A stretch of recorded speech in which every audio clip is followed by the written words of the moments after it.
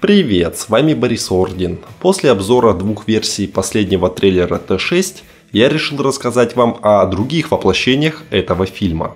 Маркетинговая кампания у «Темной судьбы» началась аналогично таковой у предшественника «Генезиса», типа невнятных постеров, вызывающих отторжение у фанатов. Но, видимо, смекнув, что не стоит наступать на одни и те же грабли, создатели решили нарастить своеобразную экспансию нового Терминатора – если Генка смог переместиться лишь в сегмент мобильных игр с его Future War, где самыми лучшими элементами были лишь арты, но точно не само развлечение, то Dark Fate решил забраться к проектам посерьезнее и покрупнее, пусть и в качестве гостя. Во-первых, к себе пригласит компьютерная игра Gears 5, продолжение серии Gears of War. При покупке или предварительном заказе игры до 16 сентября или подписке на услугу Xbox Game Pass, пользователь получает бесплатный доступ к пакету персонажей Т6 1 ноября 2019 года. В DLC есть пожилая Сара Коннор и эндоскелет Т-800. Оба скина персонажей будут доступны в игровом режиме Орды. Согласно лору вселенной Гирь, Сара сильна и ловка не по годам, а в плане устойчивости к повреждениям даст фору иному терму. Ее исключительной способностью стала возможность отбрасывать и оглушать врагов. Те станут реагировать как ошеломленный Т-1000 из финальных сцен Т-2 «Судный день», как раз перед тем, как у Сары кончились патроны в дробовике. На игровой выставке Gamescom 2019 в Кёльне, Германия, состоялся показ, где посетители могли принять участие в фоторепортаже, чтобы разместиться на фоне плаката с далекой автомагистралью и снаряжением, как у Сары. Также присутствовал эндоскелет, который выглядит идентично ремастеру из Генезиса. С учетом того, что во втором трейлере роботы показаны именно такими, слова Тима Миллера про игнор всех фильмов после второго выглядят нелепо. Игрушка под номером 2, куда заглянет Dark Fate, еще более культовая. Mortal Kombat, уже под номером 11. Первый Kombat Pack включает как персонажа МК типа Синдел, Ночного Волка и срисованного с Кэрри Хироюки Тагавы Шан Цунга, так и сторонних Спауна, Джокера и собственно Т-800. Что немаловажно, последний, в отличие от Сары Коннор в гирях, получился неполноценно выдранным из темной судьбы, от образа Карла данному бойцу досталась лишь брутальная борода от обсерватории Гриффита. А вот повреждения на правой стороне лица скопированы прямиком из постера на другой стороне. При этом Карл в шестой части, судя по кадрам из фичуретки, сможет пообтесать физиономию как раз в левой половине лица. Таким образом, в игре получился своеобразный гибрид Папса и Карла с большим уклоном в сторону первого. 6 октября можно будет узнать историю восьмисотки и объяснение того, как так его занесло во вселенную смертельной битвы. Будет смешно, если эта мини-биография окажется интереснее, чем биография Карла из «Темных судеб».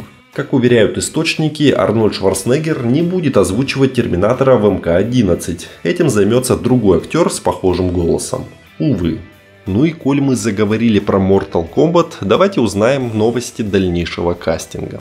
В этих двух роликах я уже начал рассказывать, кого выбрали на роли нескольких персонажей. Теперь стало известно, кто еще готов примкнуть к участникам опасного турнира. Джессика Макнеми, известная зрителям по фильмам «Битвы полов» и «Мэг. Монстр глубины», воплотит образ Сони Блейд, офицера спецназа армии США, а впоследствии основательница агентства по исследованию внешнего мира. В большинстве игр франшизы главной целью Сони было выслеживание головореза и наемника по имени Кано. Данную роль исполнит Джош Лоусон из «Обители лжи». Злодей входит в международную преступную организацию «Черный дракон», а его характерной чертой является кибернетическая лицевая панель с инфракрасным глазом. Как и в случае с Рейденом, слух о том, что Кана сыграет Джоэл Эдгертон, не подтвердился. В качестве коварного чародея Шансунга душу участников будет красть китайский актер Чинь Хань, в послужном списке которого имеются блокбастер «Темный рыцарь», исторический сериал Марко Поло, и множество других известных кино и телепроектов.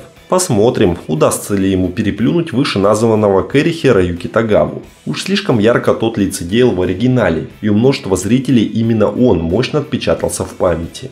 Так что перед Чинханием стоит крайне непростая задача. Ну и конечно новый МК не мог пройти без участия еще одного популярного персонажа игровой серии – Скорпиона. Образ огнедышащего ниндзя воплотит японец Хироюки Санада, который также имеет опыт съемок в громких американских фильмах и сериалах, начиная от приключенческого экшена «Последний самурай» и заканчивая многосерийной драмой «Остаться в живых». Вы могли видеть его в Росомахе, 47 Ронинов, Живое, Мститель Финал и Джон Уик 3. Приглашение актера такого калибра намекает, что создатели боевика раскроют предысторию Скорпиона и покажут этого харизматичного воина без фирменной маски. Мне бы очень хотелось, чтобы его непростым теркам Сабзира уделили достаточно внимания, так как это крутая и запутанная история, которую очень зря пустил в своем фильме Пол Андерсон. Ну и последний на данный момент из актеров, кого решили пригласить авторы, Льюис Тан. Он стал известен широкой публике благодаря сериалу «В пустыне смерти», после чего получил приглашение на съемки второго Дэдпула и Ассасинов Ву. Тан является мастером боевых искусств, и эти навыки наверняка пригодятся ему на площадке смертельной битвы. О конкретной роли Тана информации пока нет. Единственное, что известно, это главный герой. Интересно, кто бы это мог быть? Может Кун Лао? Не хотелось бы, чтобы он изобразил какого-то левого перса, придуманного специально ради экранизации. В играх слишком много харизматичных и интересных героев, чтобы от них отказываться.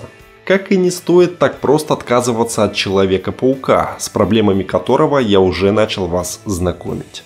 20 августа стало известно, что Кевин Файги и Марвел больше не будут сотрудничать с Sony при создании фильмов о Человеке-пауке. Ранее заключенная сделка о совместном использовании персонажа была расторгнута, после того как Disney запросила пересмотреть условия договоренности. Студия хотела получить контроль над 50% франшизы. В итоге Sony отказалась. Похоже, студия Кевина Файги хочет отменить щелчок, убравший Питера Паркера из марвеловской киновселенной. По Голливуду ходят слухи, что уже через несколько дней компании вернутся за стол переговоров. В свое время Marvel распродала права на своих персонажей, чтобы избежать банкротства. Спустя несколько лет дела компании пошли в гору, и та принялась возвращать супергероев домой. В начале 2015 года она арендовала Человека-паука. К сожалению, подробности той сделки до сих пор хранятся в секрете. Поговаривают, что Питер Паркер достался компании Файги бесплатно. Расходы на создание сольников покрывала Sony, а Marvel получала 5% от кассовых сборов причем вроде как только в первый день. Зато Дисней вовсю зарабатывали на продаже атрибутики с изображением Спайдермена. Условия сделки были вполне приемлемыми, однако в дело вмешался жадный мышиный дом, решивший урвать новый кусок финансового пирога. Диснеевцы предложили делить расходы на создание сольников пополам. В ответ они потребовали от Sony не то 25, не то 50% от кассовых сборов. Партнеры Marvel сочли новый контракт грабежом и решили самостоятельно управлять франшизой. Дисней готов отпустить супергероя, однако Файги не хочет лишать зрителей возможности видеть Паркера в составе Мстителей. Если верить слухам, глава Marvel убедил руководство Sony вернуться к обсуждению сделки. Все вышесказанное позволяет сделать вывод, что Sony начнет новый раунд переговоров с позиции силы. Боссы кинокомпании, конечно же, понимают, что выход Человека-паука из вселенной Marvel сулит множество неприятностей обеим сторонам переговоров. Им придется объяснять, куда подевались вчерашние друзья и боевые товарищи супергероя, а марвеловцы и вовсе начнут лихорадочно сворачивать сюжетные линии с участием Спайди. В этой связи инсайдеры предполагают, что Sony готова пойти на новую сделку, но на выгодных для себя условиях. Боссы Sony никогда не скрывали, что хотели бы видеть Спайдермена в фильмах о Веноме. Несколько дней назад прошел слух, что Том Холланд должен был появиться в первой картине о приключениях Эдди Брока.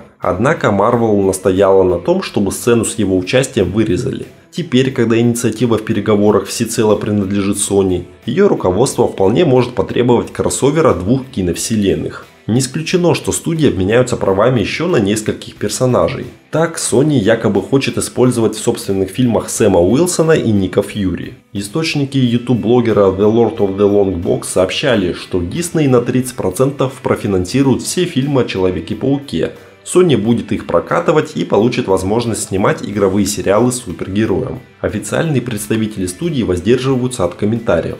Поклонникам вселенной Марвел остается надеяться, что Человек-паук действительно имеет шанс вернуться в состав Мстителей. Ну и видимо фанаты, призвавшие к штурму офиса компании Sony в Нью-Йорке, отменят свои планы. Изначально они создали соответствующую встречу в Facebook. В описании сообщалось, что всем неравнодушным стоит направиться к зданию в костюмах супергероя и начать требовать, чтобы Паука вернули в киновселенную Марвел. Это мирная демонстрация и насилие недопустимо, говорилось на странице мероприятия. Несколько тысяч человек нажали кнопку «Точно пойду». Походу уже не надо.